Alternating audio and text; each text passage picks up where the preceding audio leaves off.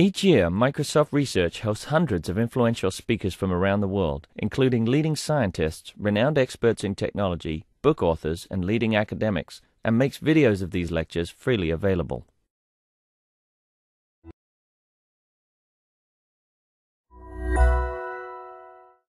I think I'll declare us quorate. So welcome to the, uh, the August lab tutorial.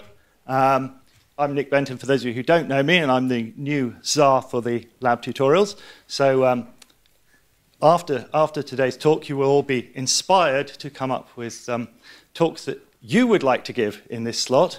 And when that happens, do come to me um, and, uh, and, and discuss the talk that you'd like to give, because um, it would be great to have more internal talks and keep the um, frequency up. So um, I'm extremely pleased that today we have Andrew Fitzgibbon, um, who's going to give us a talk on learning about shape. Uh, and as he's a local boy, I get away without having to do any great introduction. But for those of you who don't know Andrew, he's principal researcher in computer vision and winner of numerous prizes, which it would only embarrass him if I were to list. So um, I'm just going to hand over to Andrew. Thank you very much. Um, so I would like to talk a bit about some tools that we use in computer vision and uh, particular tools we use for describing the shapes of 3D objects. Uh, so I'm also trying to, going to try and teach you a little bit of maths, but a very little bit. Um, and I hope I'll give you a picture of, you know, um, uh, what, our, what the day-to-day life uh, of, our, uh, of our researchers is. Um, there is some maths in it, but it's not very complicated. The work I'm going to talk about, I'm going to show examples of work, and I'm going to talk about work that I did with lots and lots and lots of different people. But there are a few people in particular um, I would like to sort of call out who, who really helped me along uh, this path. Uh, Mukta was my PhD student um, at Oxford, um, with whom I continue to collaborate at Microsoft. Uh, Tom Cashman was an intern who introduced me to one of the key tools called subdivision surfaces. He's here somewhere. Um, uh, Richard Stebbing was another intern. Um, and uh, John Taylor is a former intern, now a researcher. And all of these people have helped me in some way to understand uh, this space. Uh, so, uh, what does a uh, computer graphics, computer vision, computer scientist mean by shape? Well, one thing I might mean by shape is the stuff that's underlying, the stuff that's going on uh, underneath this computer graphics simulation. And as I move a slider uh, around, maybe I can visit the, uh, the 3D meshes, that, uh, a sequence of 3D meshes that describe the shape of the human face. And this was work done, as you can see, uh, a long time ago, um, uh, 16 years ago, which first introduced us to the idea maybe that we could have um, spaces of 3D shapes that we would, we, we would, we would learn from data. Uh, more recently, um, people have been able to build spaces of 3D body shapes. So by taking hundreds of 3D scans, so they get, uh, get a person or several people uh, each to stand in front of several Kinect sensors. Kinect sensors didn't exist at the time, but the principles existed. So by getting hundreds of people to stand in front of multiple scanners, they could, uh, again, build uh, a tool that would allow them to visit the 3D shapes, a variety of 3D shapes and different body shapes and different poses. Not directly related, but using some of the, uh, the same tools, is work we did just last year where um, we took input from uh, a Kinect, um, if we ran that input through Kinect Fusion, even though this person is only moving, uh, is not moving very non-rigidly, if we ran it through Kinect Fusion, we would get uh, a big mess. Um, but by using, again, some of the tools I'm going to talk about, uh, we're able to build a rigid model of the person, despite the fact that the person is moving non-rigidly in the input sequence. And again, using the, using the sort of ideas that I'm going to talk about.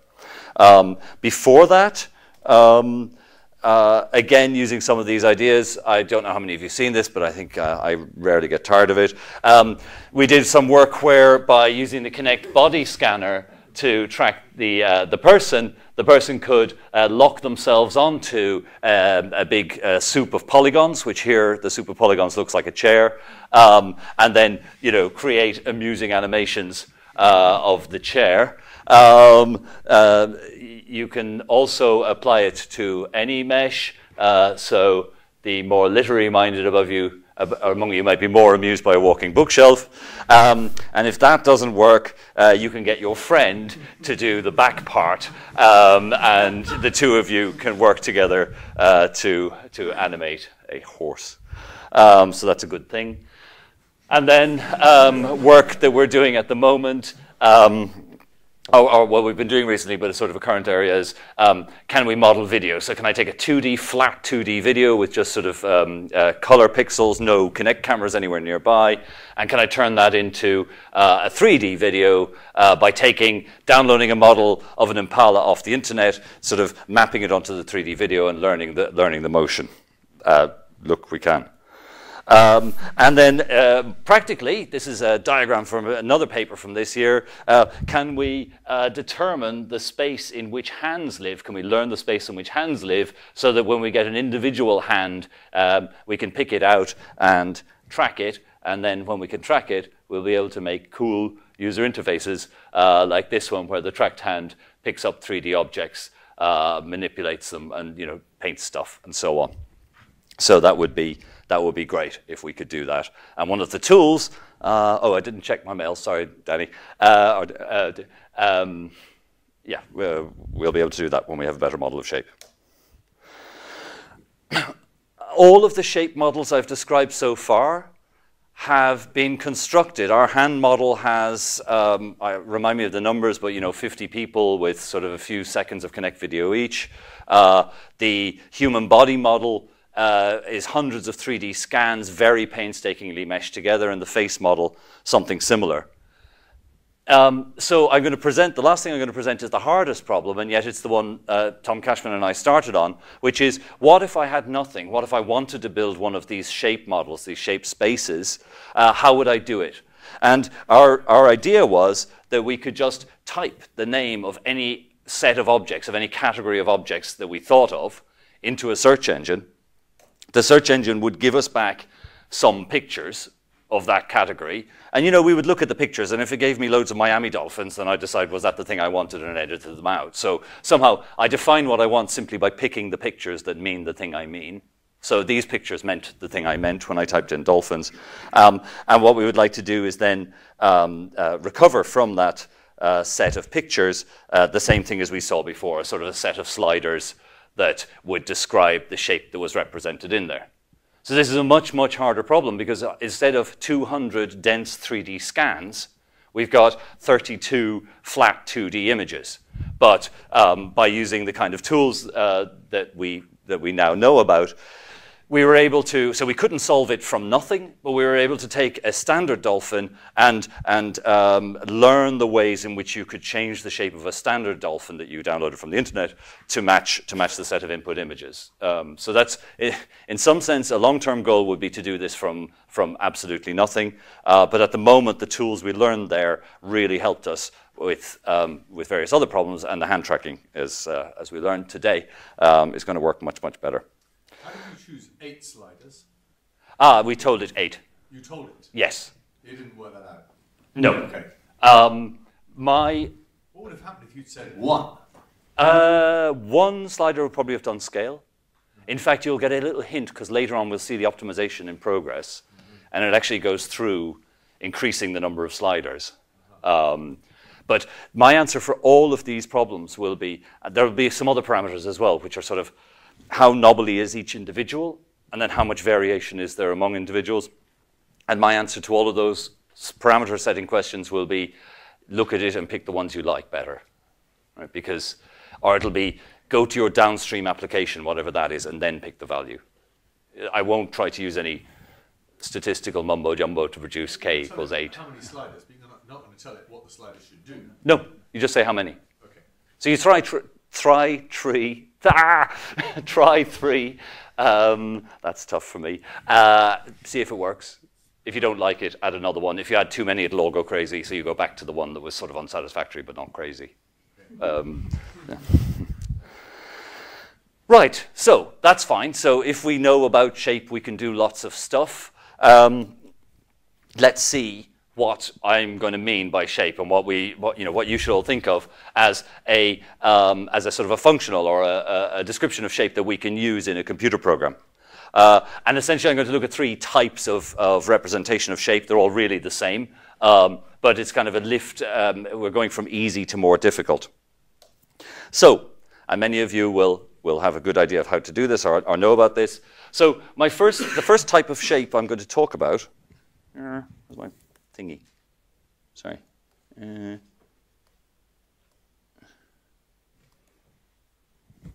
Is that working? Yes. So the first type of shape I'm going to talk about is uh, a, a, function um, where we have an x coordinate along here and a y coordinate along here, and we have some equation. y is a function of x, and that describes a certain type of shape that, that must live along, along the real number line. The second type of shape I'm going to talk about is, is curves. So a curve is a function which takes a real as input and outputs 2D points. Okay, so here's an example of a, a, curve that takes real numbers, let's say between 0 and 1, and outputs x values, y values, and plots like that.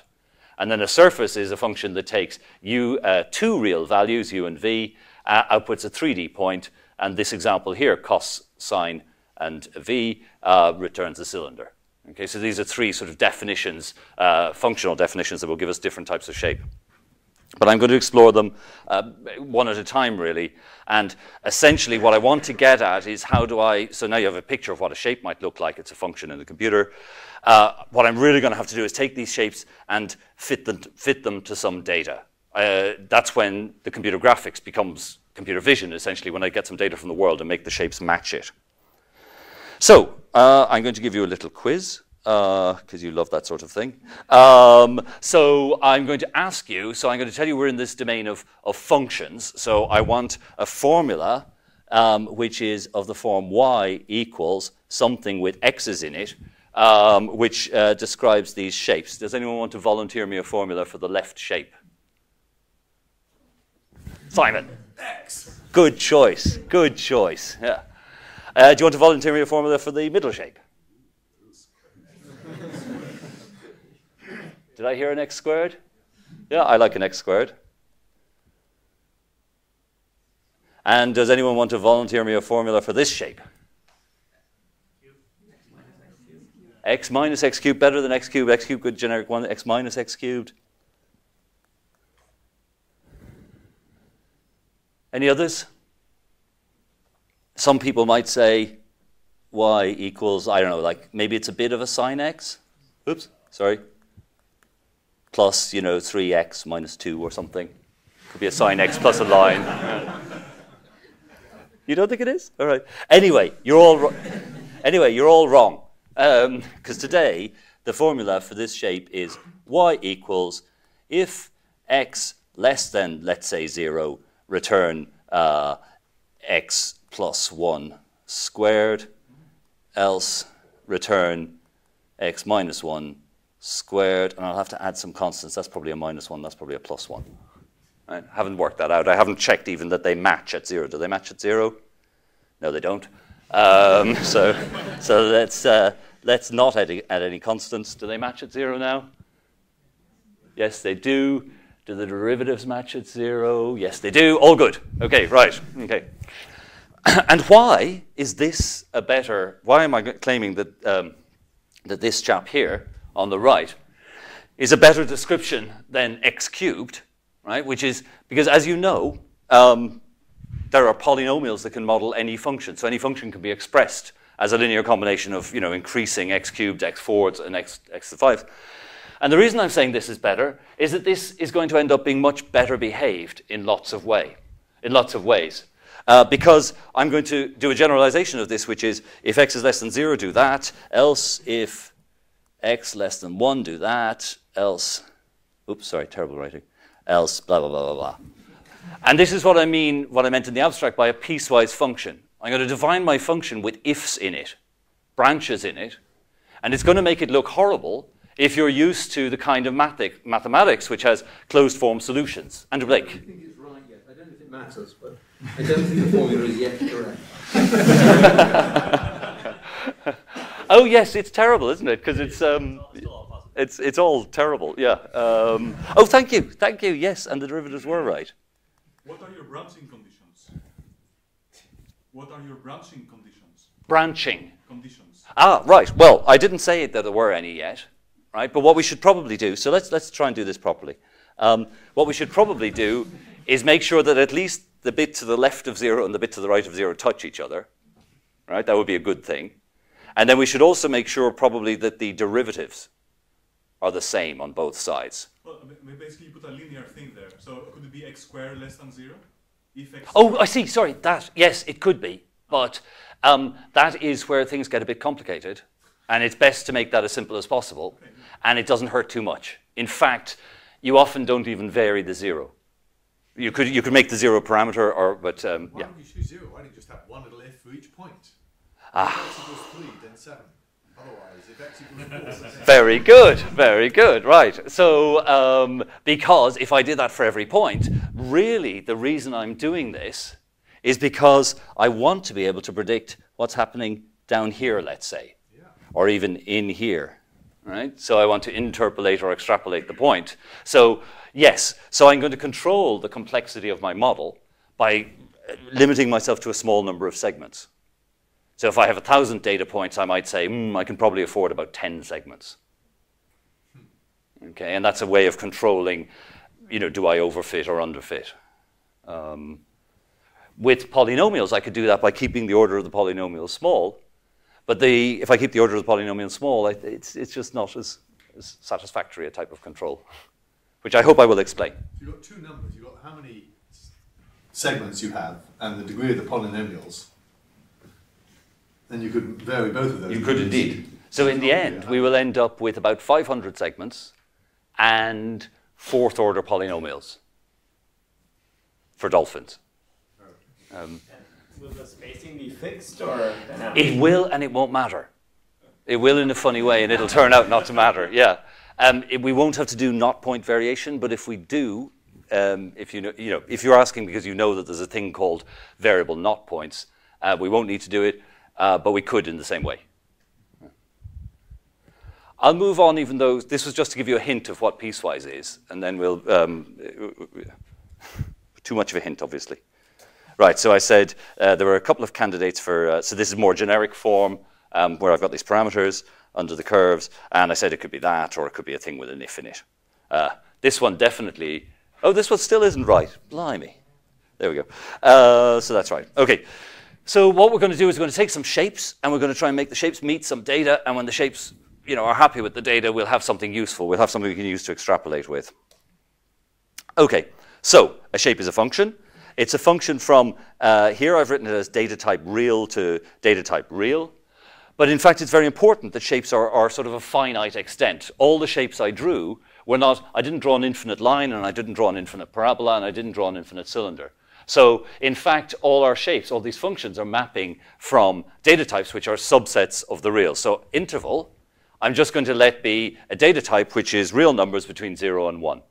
And again, back to your question about do I need, you know, is the, are these fixed data points? They are, and it's not going to matter. So I, I, can, I can pretend every curve is a mapping from 0 to 1 just by scaling all the parameters for the bit I'm interested in so they live in 0 to 1. So a curve is a mapping from an interval to 2D, a surface is a mapping from interval to 3D. Thank you. Ah, yes, it should be. What I described was uh, an infinitely tall cylinder. Um, it's still good that I had the interval for you because I didn't visit the same points um, an infinite number of times. But yes, V should have been an interval. Thank you. I'll remember to fix that later. Right, so we looked at these functions, y equals a function of x, and I tried to argue that piecewise was better without really telling you very much why. Um, now I'm going to look at curves. And I'm going to look at curves for, oh, it's going to be at least 15 minutes. Um, uh, so I, I wrote a, curve. I said it was a function uh, mapping from a single number t. And what happens is maybe this corresponds to t equals 1. We could try and do stick in t equals 0 here. That'll be the point 2, 1, 2, 1. There we go, t equals 0. Okay, and I'm going to stick in, uh, that worked fantastically well. So let's stick in t equals 1. That'll be 3, 1. That'll be that point. Do we agree? Right? Oh, no, you can't see these axes. Sorry, that's 2, 3, 0, 1. So as I move t equals 0, as I put in different values of t, my curve is going to move around here. If you like, you can do t equals a half and find out where it goes, but it seems a bit messy to me. So a curve is a for loop for t equals 0 to 1 at some step size. Um, uh, it draws out these points in R2. of course, you know, calling it a function uh, is not very uh, is not very computer science 101y. Um, so I'm going to make a curve, uh, a data structure, and it's going to be a data structure which has um, which has this um, uh, the abstract data structure curve is defined by only one thing uh, to begin with, which is a method called eval, which again takes a t and returns a point 2d. So the conic curve that we had there, so a specific type conic, which is a, uh, an instance of a, of a type curve, has the eval t function, which um, writes, you know, which contains the function that I just, uh, just drew out as I moved across here. And of course, the reason I'm doing this to make, uh, to make a, a sort of subclasses of curve is that what I'm going to be dealing with all the time is a parameterized curve. And a parameterized curve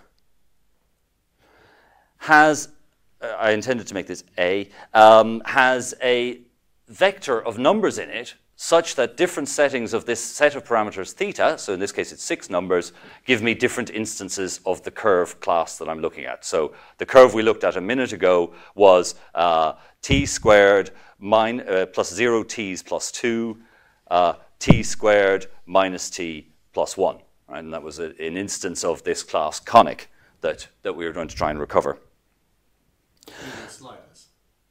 They, they will be the sliders. In this case, they'll be not very good sliders. You'll, you'll change one of them a little bit and the whole thing will go crazy. Um, but later they'll be good sliders. But yes, thank you, these are the sliders. Theta, big theta are the sliders. So I told you curves had only one method on them, the eval, which takes a t and gives you the 2D point. But there are some other very important methods when you're, when you're going to introduce curves to data. And I'm going to talk a little bit about the implementation of those methods and the sort of implications um, that, it, that it gives for, for what we might want to do. Uh, so a very important method is to be able to take a point in the world. So here's my curve. So this blue thing represents the curve, uh, an instance of this class. And uh, given some other point in the world that isn't on the curve x, I would like a method which just tells me how far it is from x to the closest point on the 2D curve. Equivalently, you might imagine supplying a function closest point, which takes a point in the world x, returns me a 2D point, which is this blue sort of blob here, which is the closest point on the curve. And you would implement that function for your curve, and you know, um, you, if you do it well, that might make other things easier. Clearly, one of these can be written in terms of the other. So the distance function could be uh, norm, meaning just 2D um, length of a 2D vector, length of the vector joining x to the closest point. So we may, we may implement one or the other uh, when, we, when we do our work. we may also implement distance, not in terms of closest point, but by literally by, by writing down exactly our definition of distance. So what is the distance? Well, I have made an anonymous function here, lambda t, which for every value of t around the curve just reports me the distance between eval of t and the query point x. So this def definition of distance says call a minimization function, and I'll, I'll, do a little more details of what this looks like. So this is a generic function. Is this a higher order function? Yeah. It takes a function in, and yeah, yeah, and it produces a number out. So it takes in this function, which measures distance from an arbitrary point t to the curve. It takes typically these things take an initial guess. That means the t value to start with. Let's say on this curve it happens to be here. Right? It doesn't really matter where it is. Um, so it takes this function in a t-value to start with, and what this function will do is do some magic and figure out um, what the closest value is. Right, so everything up here is all the stuff I already said. It's getting smaller, but it's there so you can remember it. This was the function I wrote. f of t is vector difference between evaluate the function at t and the query point. Uh, the distance is going to be minimize f. I forgot to give it an initial estimate. And here is um, a very uh, dumb version of the minimize function. So the minimize function starts with an initial guess of t. That might be some point out here. So that's t, my initial guess. It computes the derivative of this function f of t. Now let me draw f of t. f of t is not the shape of the curve. f of t is something else. Okay. So there's t, and here's f. So let's pretend t equals 0 here. And as t increases, we move around the curve like this, eventually landing back here at t equals 1. So what's the distance going to do? Well, it's going to start, this is almost as high as it can be, right? So the distance is almost as high as it can be at t equals 0. So we'll start up here somewhere. And it kind of goes down, way down to t is, let's say, a half. And then it goes up a bit. And actually, despite these concavities and so on, it's basically steadily climbing again until t equals 1. And then it goes down a bit for t equals 0. So I was given this uh, class curve. Where's my laser pointer? Actually, I'll try and use this thing. I hate these things.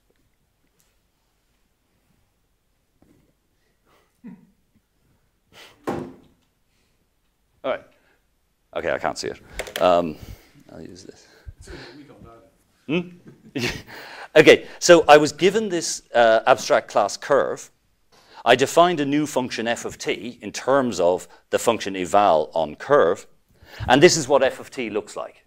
And what my algorithm is going to do is start from an initial value, x, t equals 0, compute the gradient of the function, which luckily, as I change it, uh, tells me basically that this function is sloping down here the, uh, to, towards positive x. I'm going to, so let's compute the gradient of the function. I'm going to, um, uh, sorry, the gradient tells me it's sloping up that way. I'm going to subtract a little multiple, we don't know what this is, let's call it 0.001, of the gradient, and I'm going to try again. Oops, overshot, back a bit.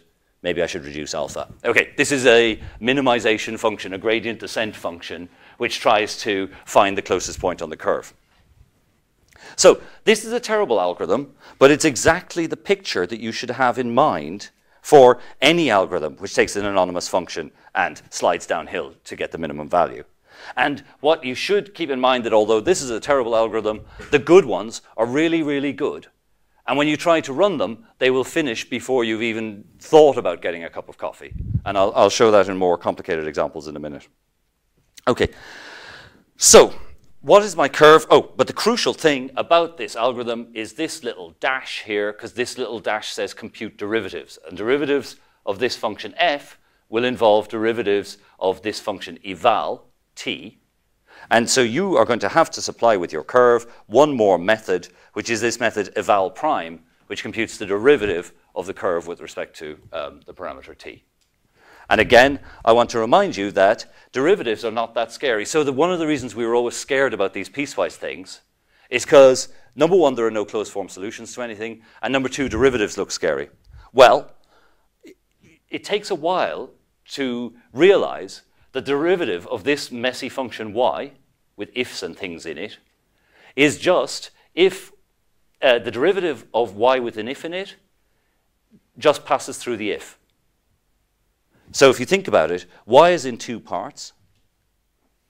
Right? So y is some function in two parts. Let's pretend they don't even match. Okay, so this is y of t. And the derivative of y to the left of where they don't match is just the derivative of the thing to the left. The derivative right is just the thing, the derivative of the thing to the right.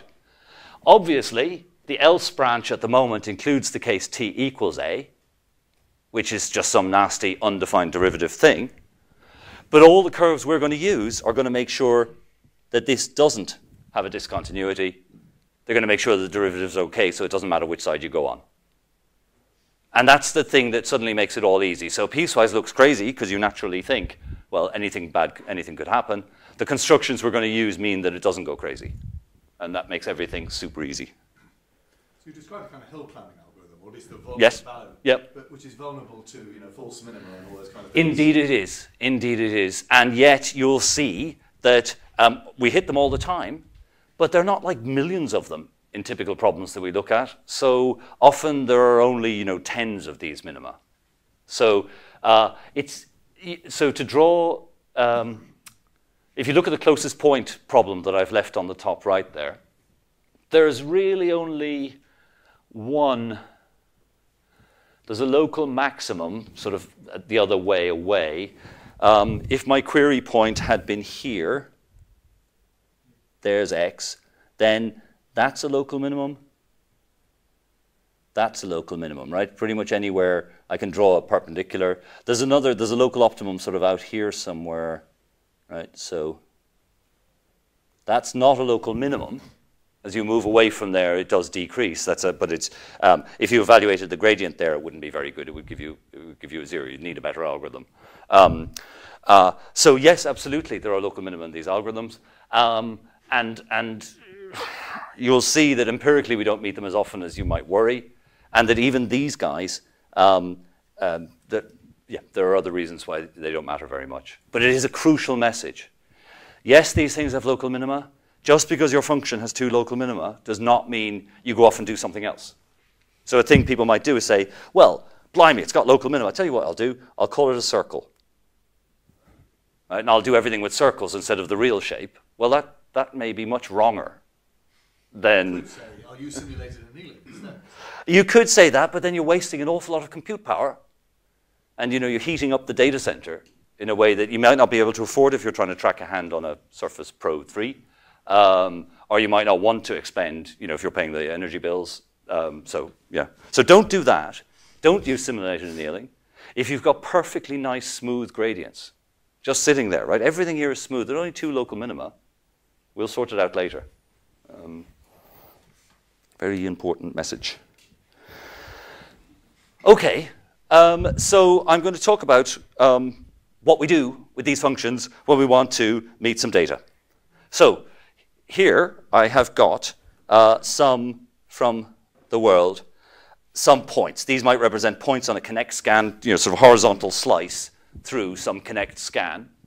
And the red curve represents some shape that I want to use to describe those points in the Kinect scan.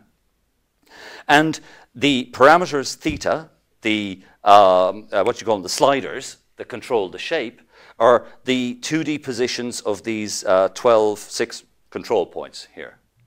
So, uh, so the unknowns in this problem are uh, 12 of these guys.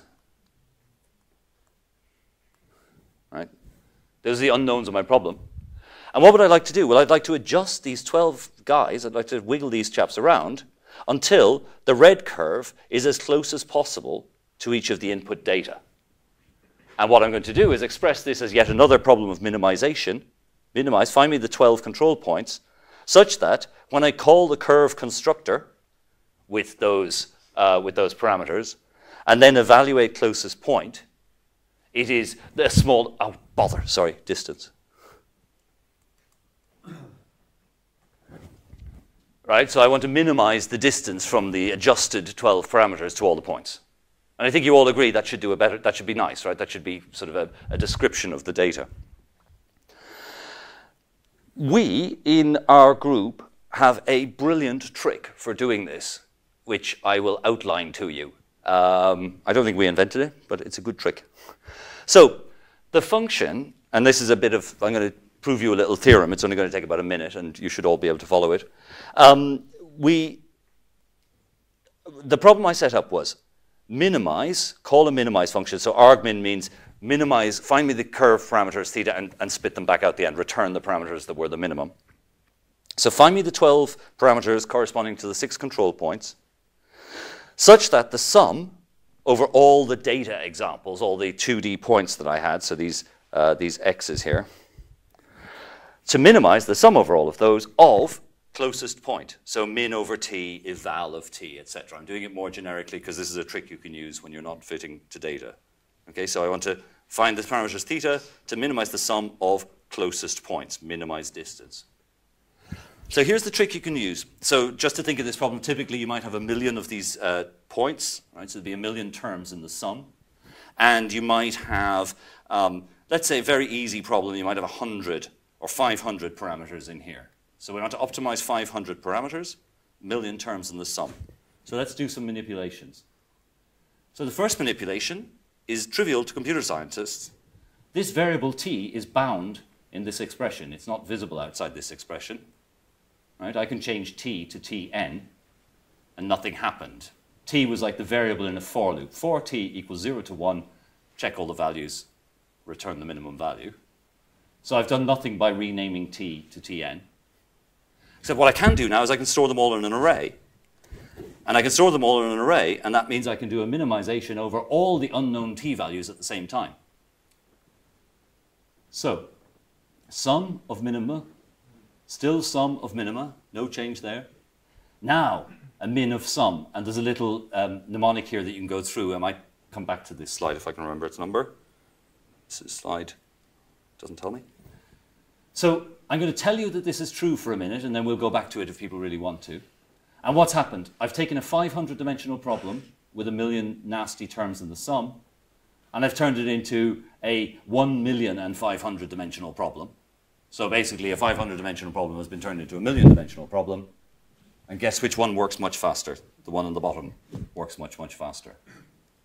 All right, so that's a good trick, I think.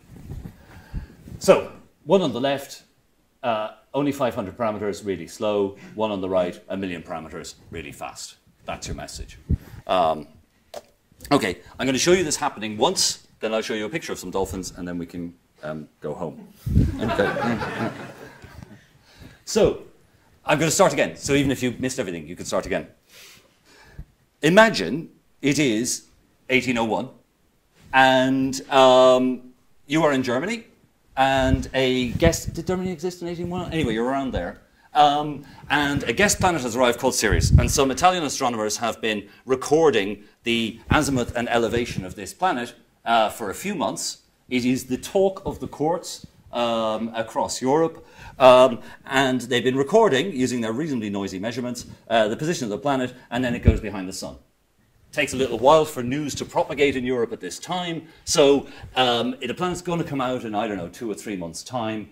Um, everybody wants to know where to stick their telescopes in order to be the first to catch sight of the new planet.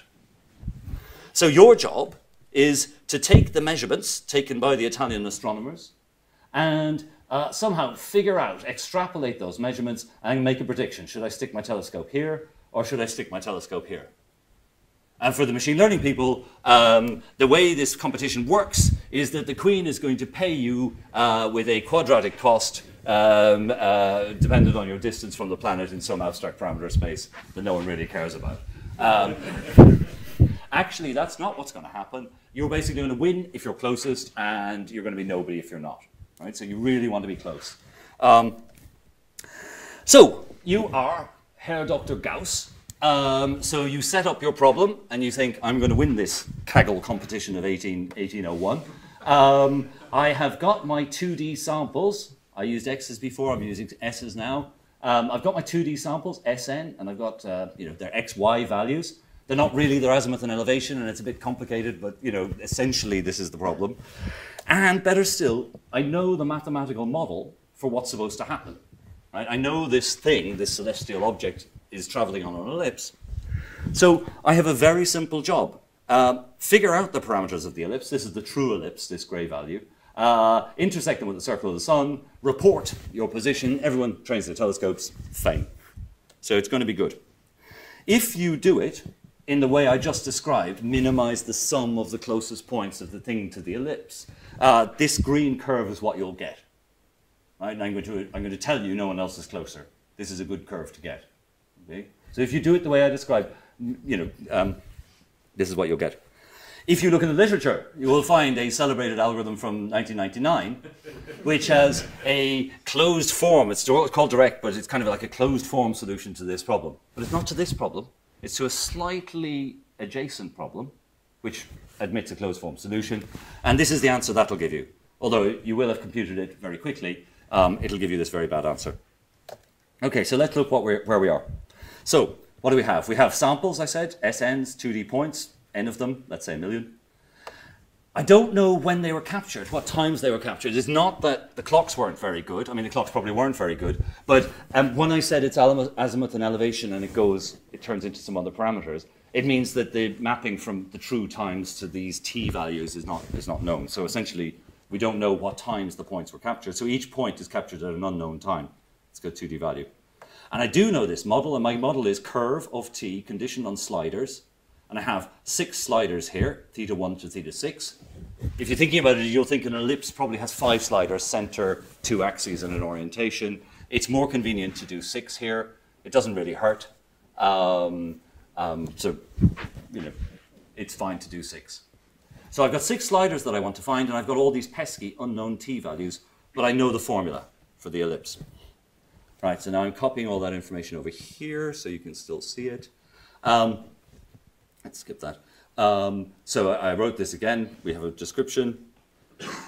We are going to define closest point. We're going to talk about closest point, and I've written it down here again, min over t of distance of sample to the curve. So this is all the stuff I wrote in code earlier. Um, and what I want to do is find the shape parameters, the sliders, that minimize the sum of the distances from each of the samples to the unknown points. Look for n equals 1 to number of points, add up the sum of the distances. So this is now MATLAB code that runs, pass it into fmin-unc, which is a higher order function that takes functions in. Um, so that was the equation for a curve. Here was the, uh, look at this closest point function. I just do a for loop stepping by 0.01 radians, right? And accumulate the minimum. Pretty dumb closest point function, but you know it's probably going to work. Okay.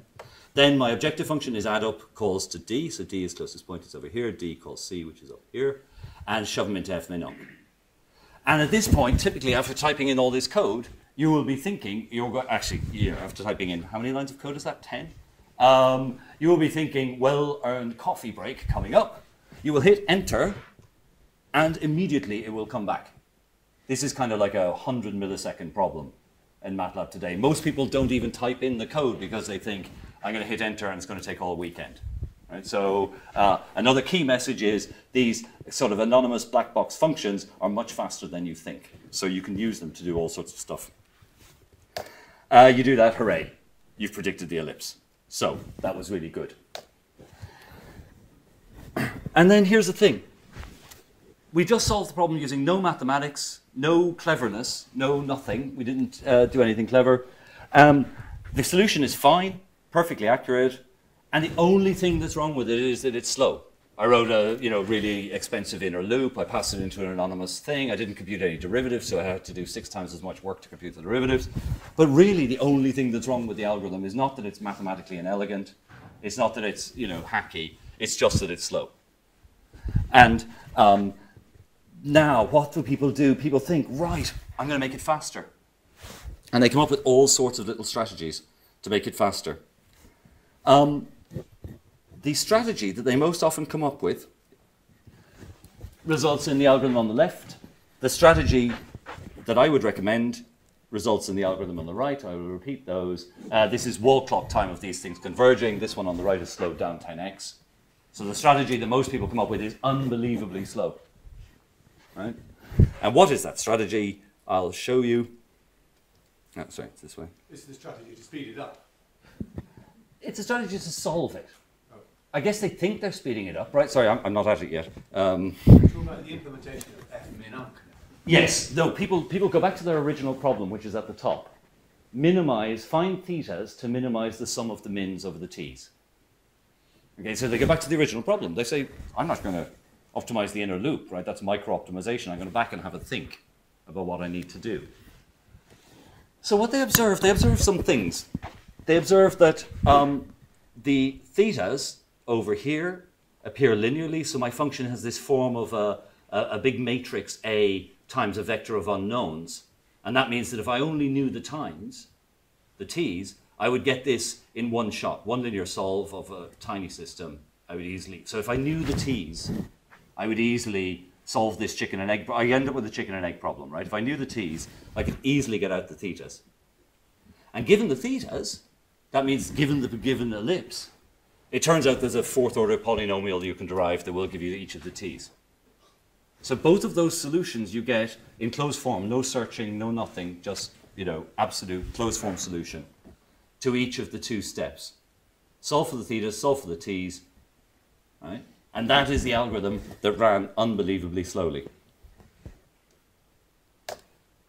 Right? And why is it running slowly? It's running slowly because the guy on the right, um, LSQ non-lin, um, is able to simultaneously vary the t's and the thetas.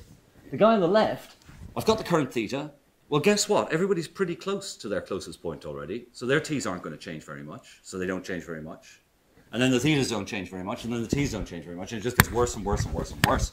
And you can see how much worse and worse and worse and worse it gets um, by doing a convergence plot. Right? So this plot is saying uh, the error on the left is what is the distance of my samples. Right? So that's, that should reduce. Low is good for that.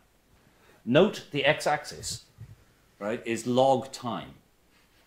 Right? So, you know, uh, whatever, you know, milliseconds, um, seconds, days, weeks, millennia. Okay? Because this is a super easy problem if you're solving a hard problem. These, this is literally, you know, weeks, years, decades. Um, so what happened? The, uh, the algorithm that one would think of starts off okay, right? This is kind of linear convergence, first order convergence. Still not ideal. You would want to be doubling your number of significant figures rather than adding one each time. Starts off doing that, and then around here it just gets unbelievably slow. How slow? The difference, so the typical way you stop these algorithms is you look at the current iteration and you say my function value is you know 10 to the minus 1.32 or whatever, and then you compare it to the next step. So at this point, the point where, my, where the cursor is, the difference between successive iterates is 10 to the minus 13. Right? So you think this is definitely converged, right? 10 to the minus 13, every step I take, nothing happens. At this point, I started just doubling, I started plotting dots only when the iteration count doubles. That's why this um, changes. So around here, the difference between successive function values is 10 to the minus 16. So it's within machine precision. You compute two successive function values. They are exactly the same. Right? And yet, you should continue on. Why should you continue on when you can see that this curve is still dropping? Right? So here, function values 10, machine precision apart, still function value is dropping. What does that mean? That means the thetas, the shape parameters, and the t's are still changing, but the function, but the function, you can't even see it in the function value. Now you say, but we are sensible people, and many people tell us that you don't need to worry about these little tiny differences in function value. This is nonsense. Right? There's, you know, you're, you're really trying to optimize the hell out of it. What is the test data? So, in a machine learning sense, uh, the ellipse, the dots on the ellipse are my training data, and then the test problem is going to be predict um, my Gauss point, predict where, where this comes out. So what I've plotted here on the same graph is the value of the error, all right, the value of the test error, i.e. how close is your prediction. So look, 10 to the minus 12, normal stopping point, we're miles away. Low is good. Carrying on down here, test error is only just really beginning to improve when we get out here to the point where the function value hasn't changed. You know, you can't even see changes in the function value. As always happens, the test error, um, there's actually, if you could magically stop early, you could report a better test error down here. But you must always just report the value you get at convergence, uh, which is some value, and it's the same as the first, second order algorithm did in, in no time. So that's the key message. When you find yourself doing this alternation, chicken and egg, parameter one, parameter two, block one, block two, expectation maximization, whatever it is, you should ask yourself, am I solving the kind of problem which is trying to extrapolate, right? This is a hard problem, okay? It's like all my data is over here, and my job is to predict some value way out over here.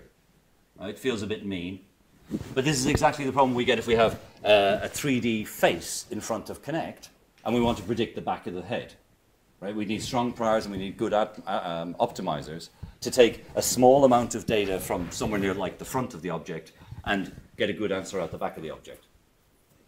If your job is a sort of machine learning job where you're just going to delete 10% of these data and then re-predict them, no, none of these algorithms, they're all going to be exactly the same.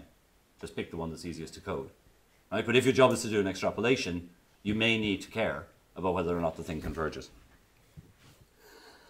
Okay, so um, I said I would show you dolphins. I've already told you what a surface is, um, but I'm going to jump past some stuff to the tool that we use to describe 3D surfaces. And I'll just give you a very quick picture of what this is, because again, it looks like more like a computer program than a piece of mathematics, and yet um, we have the tools now to treat it as mathematics. I would like to describe a smooth 3D surface. Why do I want to describe smooth 3D surfaces? One good reason is I've been doing all this optimization with derivatives, and I want the derivatives to be smooth across the surface so that my optimizations work. With my 2D splines, I was moving around some control vertices, some 2D control points, and that generated me a smooth red curve. How do I do the same in 3D? And you can do something like splines in 3D, and it's kind of messy, and there's lots of bookkeeping. Um, here's a tool called subdivision surfaces, which are super easy. They are, devised, they are defined by a recursive rule. And the recursive rule is take a mesh, a polygon mesh, which is not smooth, take every vertex in the mesh, take every triangle in the mesh, oh, sorry, and that will define this blue surface by take every triangle in the mesh. Now, replace every triangle, so every triangle will get split into four like this, and replace every new vertex by a sort of weighted average of its neighbors. So you can imagine the vertices will all move in a little bit. Repeat. And if you recurse that infinitely, the uh, finite number of triangles you started with will turn into an infinite number of triangles describing the blue curve. And it turns out that we can do various things with this blue curve um, that allow us to fit um, dolphins to data. And now I'm going to uh, come out of here and find some dolphins um, and let you go.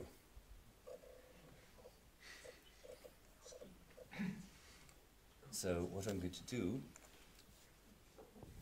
there we go, is um, I'm going to start off some dolphins. This is the same one rigid fixed dolphin template. Uh, overlay it on the images. And hit play. And what we're going to do is we're going to watch this uh, nonlinear optimizer. Instead of fitting an ellipse in very small amount of time, it's fitting 500, 1500, if you can remember, Tom, tell me, some large number of parameters for dolphins. It's simultaneously discovering the sliders as well as the fit of the dolphins to the image. You see, these dolphins don't fit very well uh, for two reasons. Number one, their position isn't very good, and also they're not bent into the right shape. So to discover everything in one giant optimization. Um, hit play. And again, you might worry about local minima. Well, you know, if you look at this dolphin who's just eaten a very large cornflake, um, that's the kind of thing that looks to uh, to the uninitiated like a nasty local optimum. But um, the, because the nonlinear optimizer is working in very high dimensions, this is a hand waving explanation, but because it's working in very high dimensions, things are very easy um, and uh, it, it figures it out. Now, there is there's a load of other stuff going on here. Um, every time it pauses, it stopped doing this. Um, you might be thinking, how would I solve this problem of closest point on a spline surface if there were lots of local optima? And one thing you could do is a for loop over the control vertices, followed by the nonlinear optimization inside. Well, something like that is happening um, every time it pauses. So it would have fallen into a local optimum if we hadn't done that. Um, but equally, if we didn't do the continuous optimization, we wouldn't be able to get to the answer. Okay. Um, I will leave that there. Um, thank you.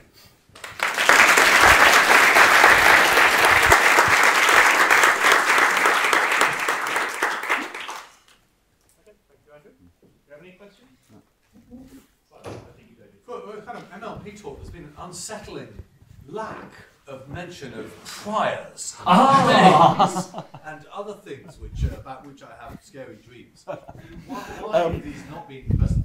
You're absolutely right. There are uh, there are loads of priors. Um, I just didn't bother telling you about them. um, um, so there's a prior that the uh, coefficients, the alphas, uh, so second last row from the bottom, small. Um, there's a prior that the points on the contour. So we're using silhouettes for this, and silhouettes are a nightmare to deal with because um, I'm a 3D object, right? And you're getting my silhouette view. So if I trace the part of me that is giving rise to the silhouette, it comes up the leg here, and then suddenly it bounces onto the hand, and then back onto the chest. So that's a nightmare to deal with. So um, there's a little prior down here that says keep these guys close to each other unless you can't, um, and a bunch of other stuff. There's a prior smooth basis that says uh, don't make the dolphin too wobbly. Uh, that's it. So my point is, um, not look. This looks like one of those slides which is look. I did a load of complicated maths, right? It really isn't. Anyone who reads through this knows what's going on. Nothing here is complicated, right? It's, you know, it's all exactly computer graphics, right? So I've just written down a load of computer graphics. Um, and said, throw it into this optimizer, it'll be fine. And of course, it, that's not strictly true, but that's the first order message to get. So, uh, there was first. And then, yeah. Um, so in 1800, who finally found the Oh, sorry, it was Gauss. And how did he do it? No one knows. um, um, uh, much later, when the method of least squares was independently invented, Gauss says, "Oh, I did that. I did that. How else could I have made the prediction of Ceres?" um, Uh, I- don't know, somehow my guess, I haven't done loads of reading on this, but I've done a bit. I think he uh, took random triplets or quadruplets of points on the ellipse, fitted to them, made a prediction from each of them, and then averaged all the predictions. Right? I, my guess is that he did. Is that called bagging? What's that called? Someone who knows things. Uh, I did. I think he did a kind of a slightly Bayesian thing. Um, they both give an equivalently good answer uh, in the tests I've done. Uh, well, I have two questions actually. One is for, for the noisy data you showed with the ellipses. Do you do you have a, an idea of what are good noise models? Do you just Ah, ah. Um, uh, you know, for the for the stuff that's just noise, noise, that's fine. Write down what you like. You know, Gaussian, whatever. Right? What really matters is the stuff that isn't just noise, noise, i.e., big outliers. Right? So that's you know, essentially those are the two things you need to worry about. Um, uh, and I, everything I showed had sort of squared things in it, which implies we don't have big outliers. If you want to minimize a function with big outliers in it, um, so, whoops. So, I'll show you in a second. Something that's a giraffe rather than a dolphin. Uh, no, it's like this. So um, here's the silhouette, nicely drawn here. Can you see my mouse? No, you can't. Um, so this is the silhouette going down there. And imagine I've got a point out here. So there's another dolphin nearby. And um, I've got points from the other dolphin as well, and I don't know which are which. Right? So if I try to smoothly match to the true silhouette points and the guys over on the left, everything's going to go horribly wrong, right? It's going to. I've only got four such points. I've got hundreds of these guys, but nevertheless, it's going to kind of drag my shape out here. It's going to be horrible. And that's because I'm paying x squared, right? So because the shape is not, um, because the shape is not hugging, eh, the shape is paying x squared for these guys. X squared for these guys is going to be dragged out. So what you do is you don't pay x squared. You pay a different function. So x squared, as I plot it, looks like that. And the further away you are, the more you pay. Well, what you do is you make the function flatten out like this. It should go flat, not down again. Right, and that's called a robust kernel. So now what happens is you're paying your x squared unless it's just all got too much. Right? And then you pay this sort of constant penalty. And that has the good property that, um, uh, you know, because there are lots more uh, true silhouette points there on the inside, uh, it'll basically make these guys just pay the flat cost. Until recently, that was a nightmare for optimization. Simple test that it's a nightmare for optimization is if everybody starts in this flat region, all the derivatives are zero. So you're not going to go anywhere. Right? So that's not good. Um, um, I say until recently. Um, so recently, um, one of our um, former postdocs um, had a paper, it's sort of the end of a sequence of papers, where this is just nailed in a good way. And I'd love to tell you about it, but some other time. But actually, if you do ever have a robust fitting problem, do come to me. Are we allowed to know his name? Uh, Christopher Zach. Yeah. It's mentioned, it's a funny thing with the history, it's mentioned in a paper in 91 by Michael Black, and not quite done, and then we mentioned it in a paper in 14, not quite done, and you know, um, but now it's nailed.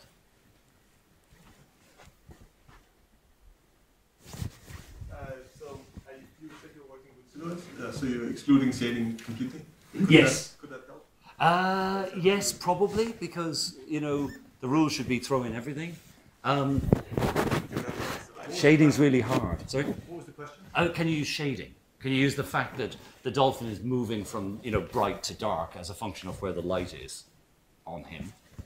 And you know the solution is well you throw in extra unknowns for the lights, and then you and you know if I believe myself saying a million and five unknowns is better than five, I should just do it. But uh, I don't know. We I guess seemed hard. totally. Occlusion. Ah! Using these set- set of vertical bars in front of the picture. Indeed. I think your, method would work well. it would work fine, providing, let's say, there wasn't the same part of the dolphin, which is an important sticky out part, uh, so included in every single view. So if every single view conspired to uh, remove this fin, then then we, we would just fill it in with smooth stuff. If you saw the fins, you might be able to guess the smooth part well. Uh, you should be able to guess any smooth part. Um, and uh, also, if we think about it, uh, in some sense, lots of the object is occluded. I mean, in 3D, sort of half the object is facing the other way. Um, uh, I mean, it sounds trivial, but you know, uh, you can't see every data point on the object. So, yeah, it, it deals pretty well.